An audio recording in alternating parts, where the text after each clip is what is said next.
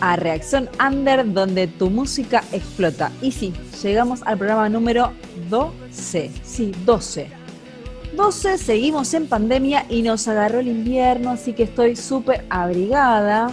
Sí, miren, abrigadísima, tapado glam, como siempre.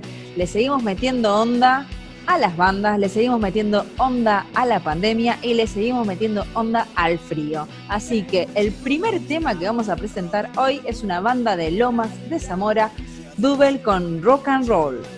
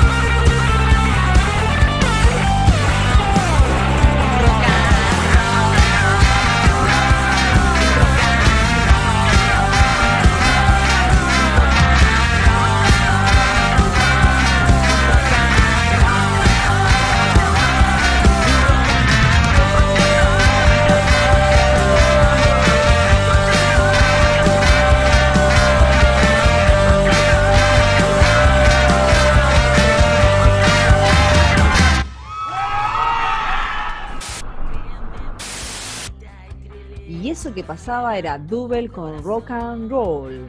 Y lo próximo que viene, vamos a cruzar el charco, sí, sí, nos vamos a Uruguay, nos vamos exactamente a Montevideo con Week 8, Tranza Oscura.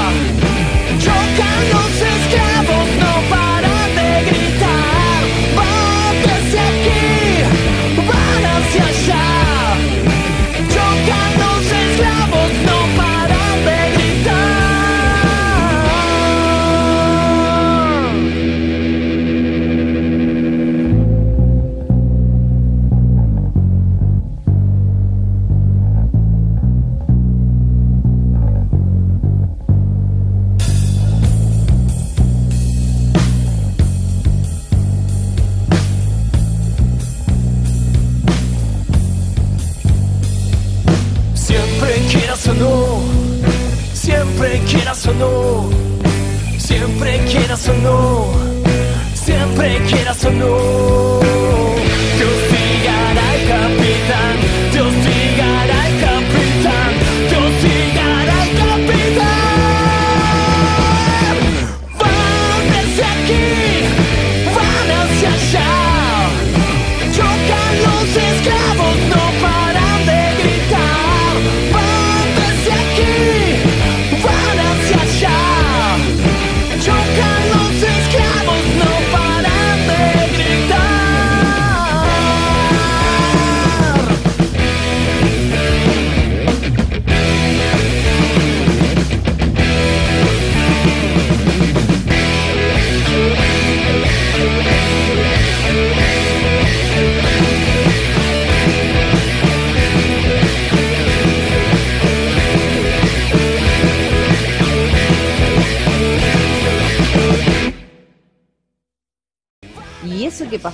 Fue Week 8 con Tranza Oscura. Y bueno, así vamos de Montevideo a Chascomús con los chicos de Slingshot. Pájaros de invierno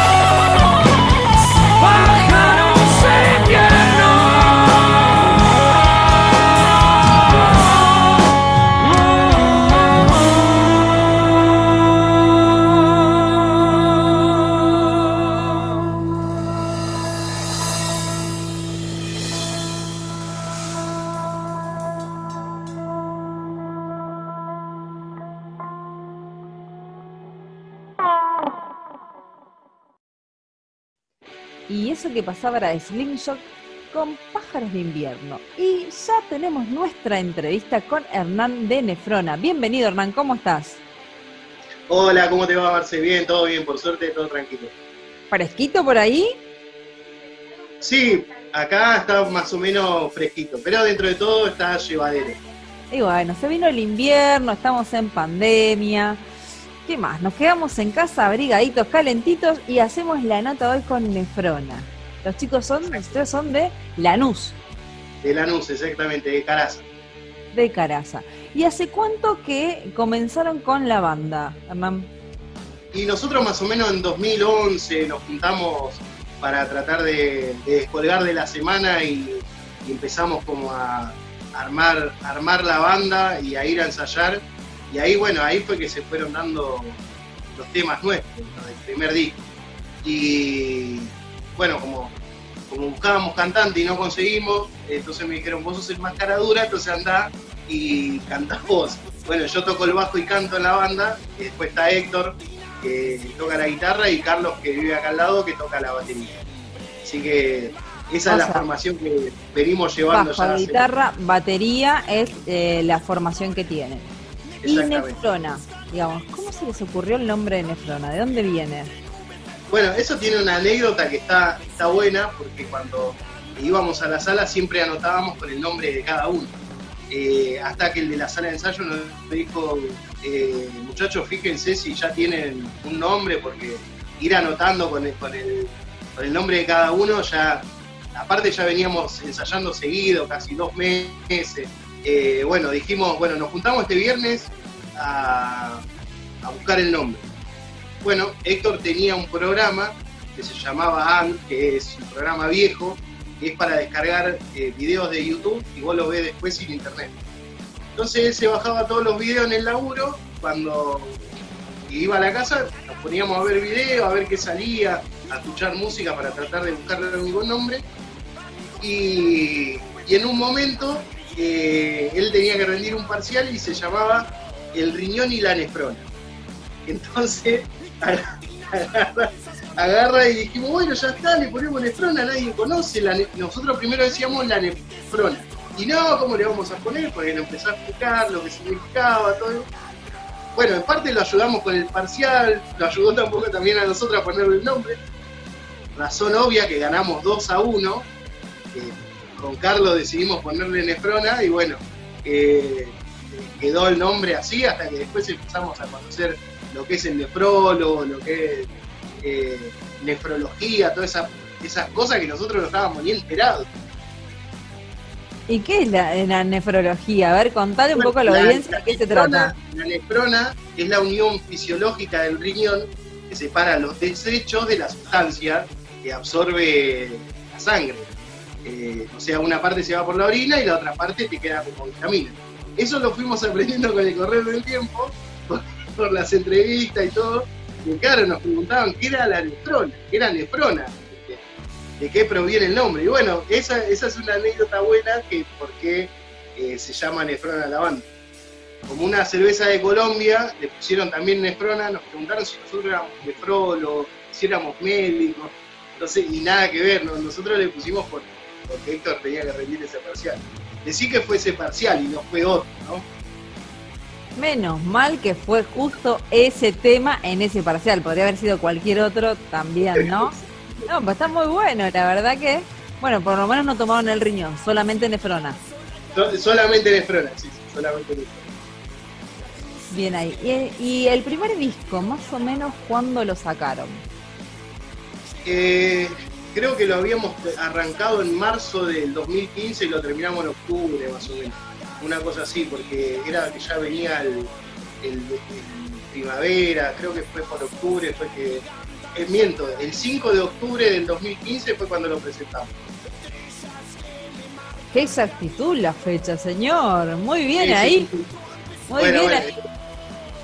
Eh, me faltaba poquito para ser profe de historia, así que estoy con como las fechas, me trato de siempre recordar las fechas de las cosas.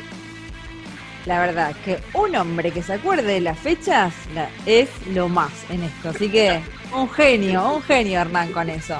La verdad me, encanta. ¿Y cuántos temas tiene este primer disco? Y a ver, te voy a hacer otra pregunta para que me contestes también en esto. ¿Cuántos temas? ¿Y quién compuso los temas? ¿O fue algo en general? ¿O fue alguien la letra, todo eso? No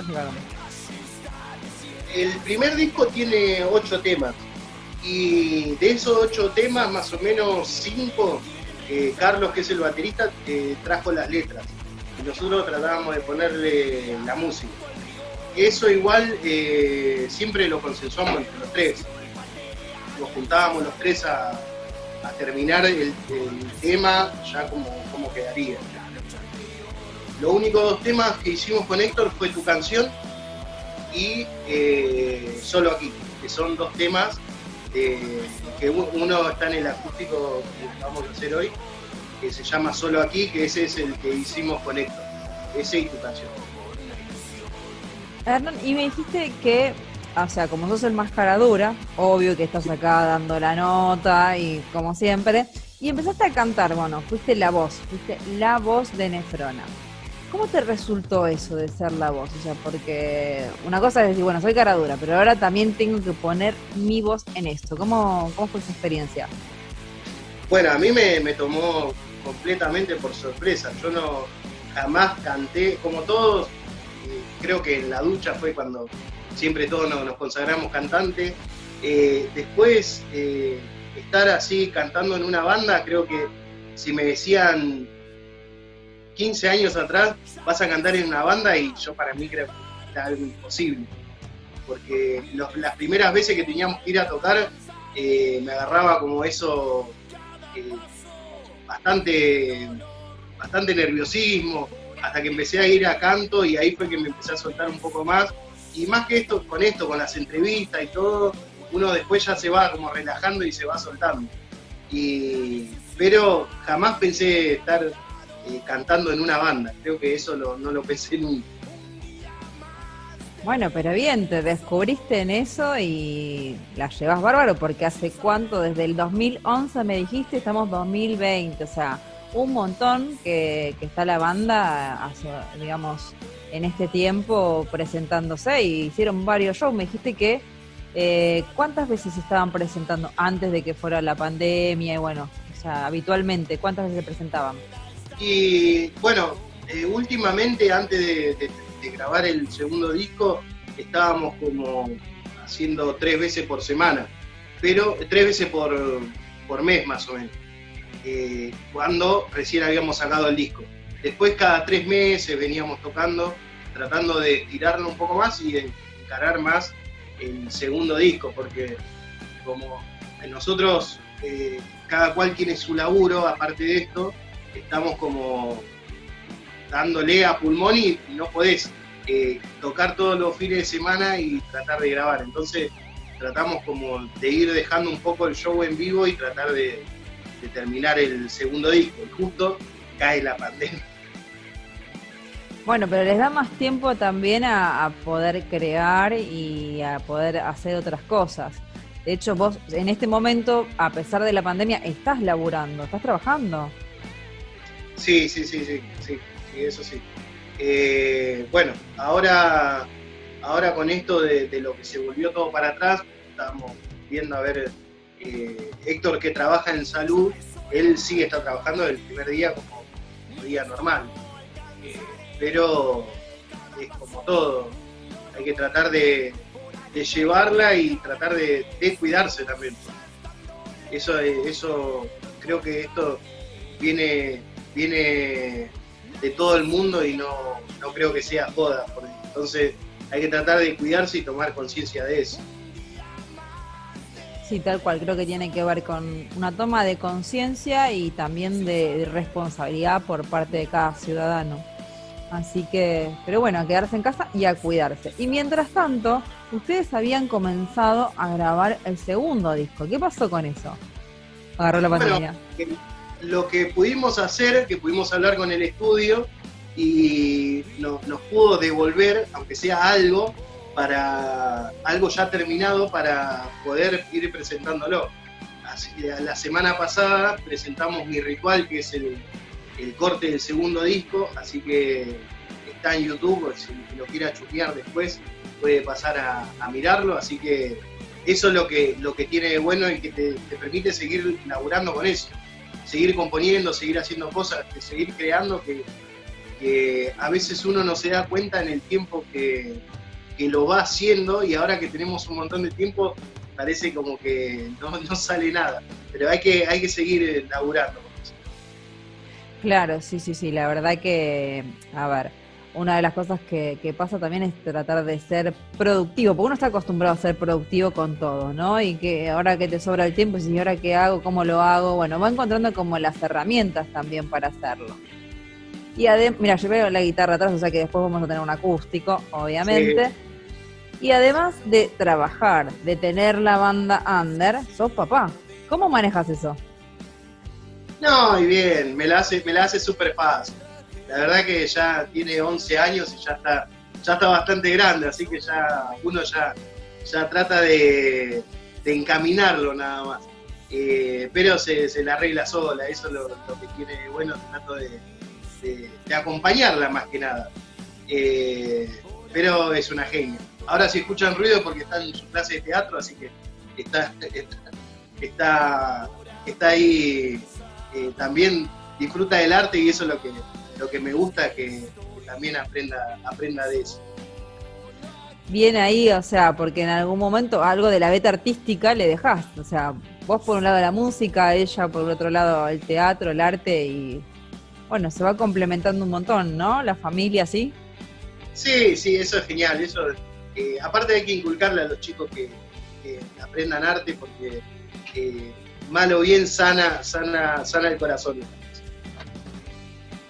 Sí, la verdad que sí, que el arte sana un montón y bueno, uno puede sublimar un montón de cosas. La verdad que, expresa un montón de emociones, de sentires, digamos, de, un montón de, de, sentimientos que se plasman y bueno, quedan ahí, digamos, en algún video de YouTube que, ¿no? que puedan llegar a armar. ¿Ustedes tienen muchos videos? Eh, tenemos eh, un tema que, es el, eh, el disco oficial, que es tu canción, que ese lo grabamos con, los amigos de Caligo, que son los que, ya que está, más adelante van a, van a hacer también de mi ritual, que es el, el, segundo disco, van a hacer también el video oficial, pero con diferente gente que conoce la banda, que son de diferentes lugares. Así que eso también está buenísimo, que son amigos que nos conocimos así también en el ambiente y la verdad que son muy profesionales para laburar y, a nosotros nos ayudó un montón con, esas cosas. Y la mayoría que hay videos son, son en vivo y hay dos temas, tres temas que son con letra. nuestra fotógrafa, que es Nayara, que es la que la que hace los flyers y eso de, la banda, es la que, la que, hizo los videos con letra y esas cosas. Que eso ayuda, ayuda muchísimo a la banda. Claro, sí, sí, la verdad que ustedes eh, van, van haciendo un montón de cosas a pulmón siempre. Y una de las cosas que hicieron también fue irse al interior. Tuvieron la posibilidad. Sí, sí, tuvimos la posibilidad de ir un par de veces a, Córdoba, a Entre Ríos, fuimos a, Rafaela y ahí en Santa Fe y nos trataron de 10. La verdad que fue una linda experiencia y más compartirla con amigos. Eso es lo que lo, mejor que, te puede, que te puede pasar y creo que uno no, lo piensa y suceden las cosas así, creo que te agarra de, con, más, con más sorpresa, digamos, ¿no? Como son cosas lindas que te pasan y bueno, uno a veces no dimensiona, pero a ver, vos al principio me decías, bueno, eh, de repente fui el mascaradura y empecé a cantar y de repente te encontraste en un escenario en Rafaela, en Gualeguaychú, en Córdoba no te lo imaginaste, pero bueno, cuando miras atrás es eh, lo que te ganaste, digamos, por todo el trabajo, esfuerzo de lo que venís haciendo con la banda. Y eso está buenísimo. Sí, sí, la verdad que sí, que nos dio el disco Rock en las Venas, nos dio bastante satisfacción y, bueno, poder, también eh, tocarlo ahí en Rafaela con la banda de Palazzo fue para nosotros también algo, algo que no esperábamos, porque cuando llegamos allá eh, cerraba la banda de Palacio y nosotros éramos teloneros. Entonces era como que ir a Rafaela, a un lugar que no conoces y que sorprendan con eso, nosotros pensamos que íbamos a tocar, a abrir el show, como pasa siempre cuando recién te haces conocer. Y cuando pasó eso, la verdad que nos sorprendió el, el, ambiente en el interior lo que es. Porque uno lo ve acá que estamos todos amontonados y en el interior se juntan todos en un lugar y es increíble. Sí, encima Rafaela es una ciudad grande, muy, digamos, muy conocida también. Eh, tiene mucho que ver, digamos, con, lo que es el turismo carretera, ¿no? Hay ahí, digamos, un poco del palo del rock también, ¿no? La gente que, le gustan los fierros también le gusta el rock. Creo que es así un poco, ¿no? Así que va, de la mano ahí. Si por ahí si fuiste para Wale, capaz que fuiste en encuentro de motos, porque Wale siempre tiene encuentro de motos, ¿viste? Tiene un poco de eso. Eso es lo que tiene, lo que tiene bueno. Hasta mismo hicimos tan, tanta buena onda que nos, decían quédense, eran 7 de la mañana y querían que nos quedemos, que uno de los pibes decía, no, que yo ahora voy a, a la casa de mi tío, mato un chivito, lo traigo y comemos todo. Y era algo que no pasa, acá no pasa esas cosas. Y nos no, dieron queso de campo, un montón de cosas que, esas, esas cosas están geniales que te pasan. Porque salen así, natural. Claro, pero la gente, digamos, del interior es así, es como muy, o sea, eso de recibirte, ¿no? Y, y, brindarte un montón de cosas que en la ciudad no se ven generalmente. O sea, si vos vas y tocas en un bar, te vas y listo, o sea, levantaste todo y te fuiste. Y ahí no, y ahí nos, quedamos, nos quedamos, eh, después, bueno, nos llevaron de vuelta al hotel y nos quedamos con, varios integrantes de la banda de Palazzo y nosotros, nos quedamos hasta las 10 que nos, nos iban. Y compartir con esa gente que viene rockeando un montón, eh, te nutre de un montón de cosas que, vos no la esperabas. Yo, como te decía recién, a mí me decías 10 años atrás que, iba a estar tocando y cantando en una banda y yo no, no, no, no, la, no me la creía eso. Era como que me gustaba, sí, pero no, no lo pensé nunca. Bueno, un sueño cumplido. ¿Sabes qué? Ahora vamos a ir a ver el video, ¿sí? Que es tu canción. Vamos con el video y después vamos a ir conversando porque se viene el acústico. Dale, genial.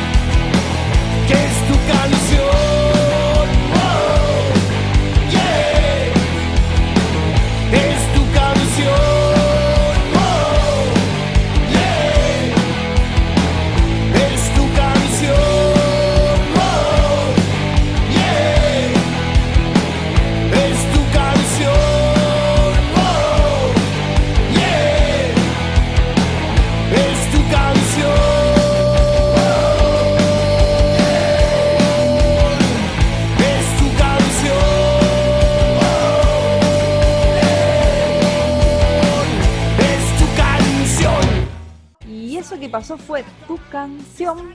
Y este video, Hernán, voy a indagar un poquitito cómo fue que lo grabaron, ¿sí? para que me cuentes un poco qué, qué fue lo que tiene de anecdótico por ahí o novedoso este video. Y como siempre esas cosas tienen, tienen sus anécdotas que están, geniales.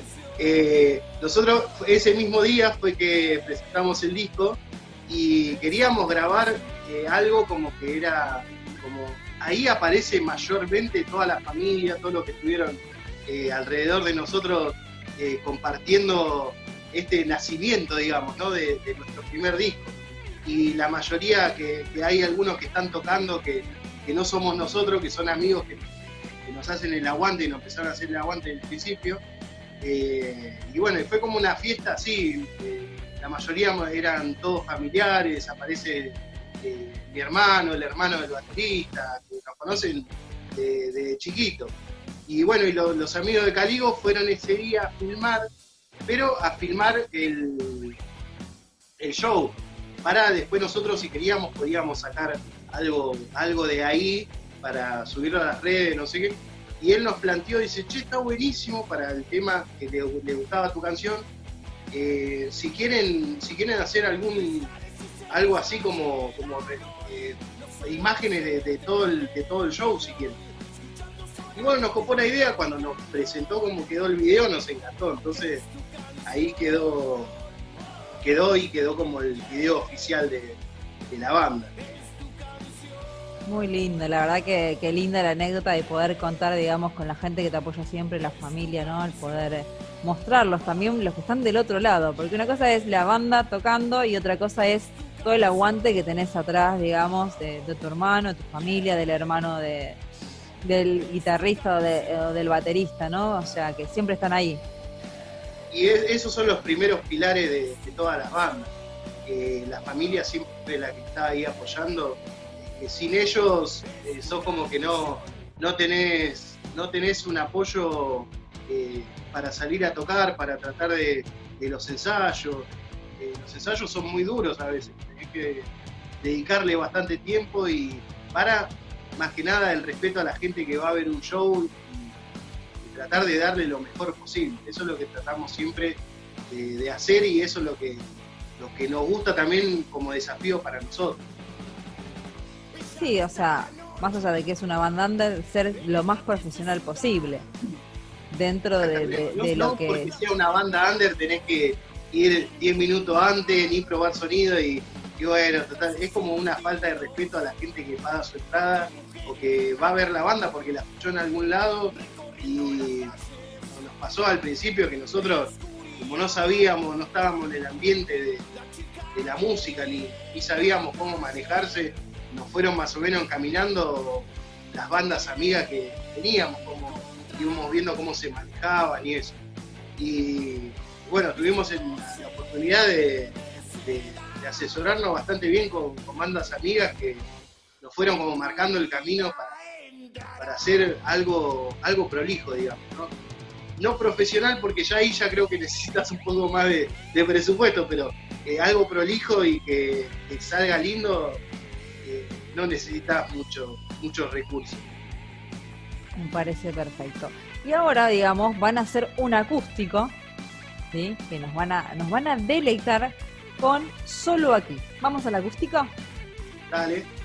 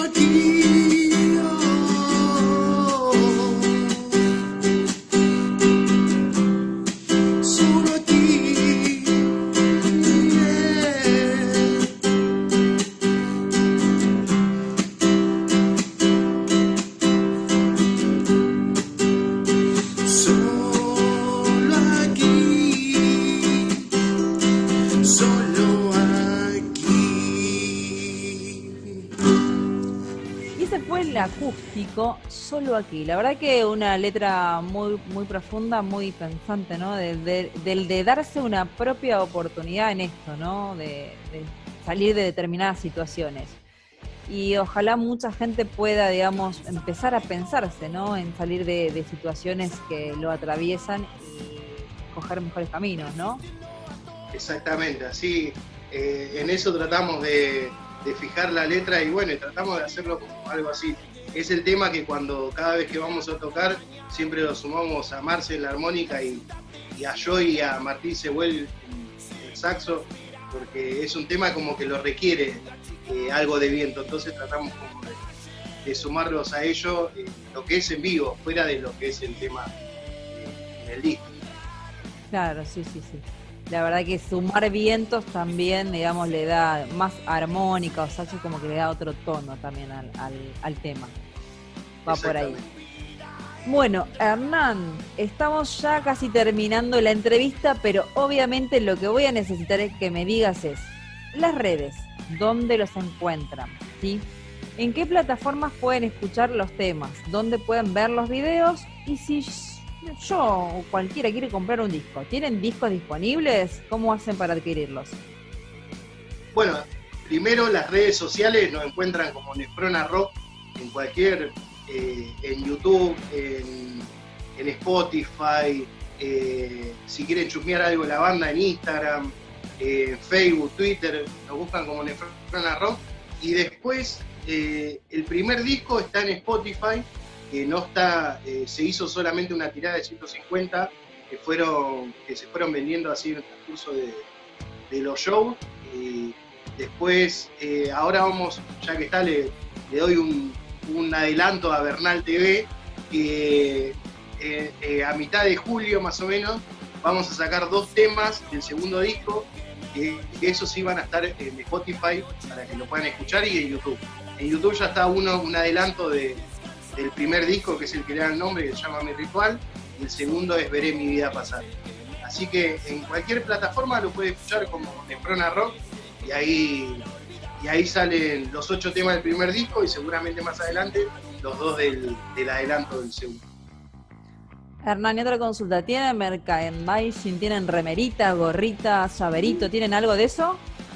Sí, eso en Rock and Club, que son los amigos que, nos hacen todo el merchandising que tenemos, a veces eh, vamos como, a entregar telegrama, pero eh, ahí a ellos le piden, le piden, tienen buzos, remera, eh, creo que hacen tazas, también hacen un montón de cosas, así que ellos nos ayudan un montón a tratar de difundir nuestra música y a veces nosotros mayormente siempre hacemos un sorteo o algo. En este momento, como no nos podemos acercar, vamos a ver si les podemos alcanzar a ustedes una remera para que la sorteen después del programa y traten de, también a, los que están viendo la entrevista. Bueno, muchísimas gracias, la verdad que un placer eh, conversar en este momento una remera, más que remera, una campera. Vamos a necesitar camperita ahora, una gorrita, ¿viste esas gorritas de lana bien abrigadita porque se viene el frío? Es más, pueden hacer tapabocas también. Tenemos, tenemos, tenemos. Ah, bien ahí. ¿eh? no sé si por ahí hay una máscara, viste que ahora también se usan las máscaras, le pones arriba, no nada, vas caminando por la calle, viste. Ese también, eso también es buena, hacer, ¿eh? buena iniciativa esa. Totalmente. Viste que uno se tiene que reinventar en todo esto y tiene que hacer de todo para sobrevivir y pasar la pandemia. Así que muchísimas gracias por acompañarnos y vamos a seguir en Lanús porque o sea, los chicos son de Lanús, vamos a ir en Lanús con Mr. Alien atravesando el tiempo, es el próximo video. Es la tormenta dentro de mí, atravesando mi condena y mi sentir. Un buen pasado,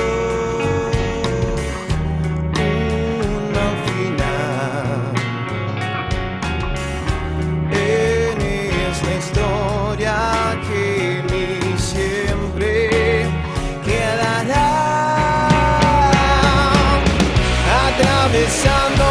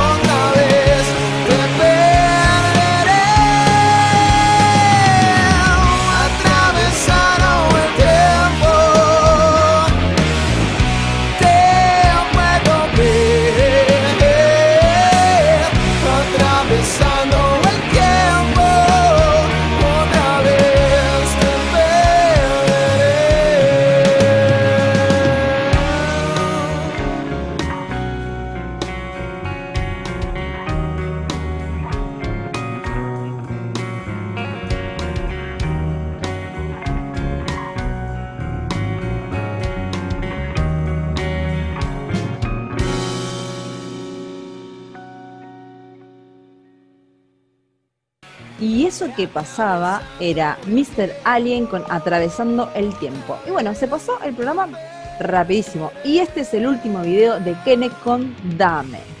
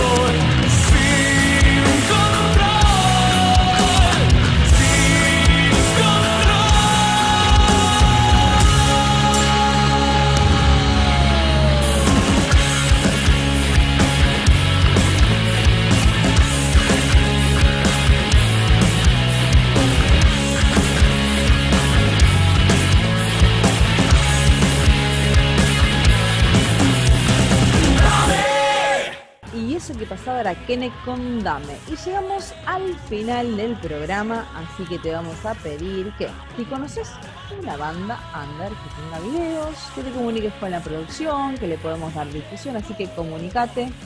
Si conoces, si tenés una banda, obviamente te comunicas con Zona de Arte Canal por el Messenger.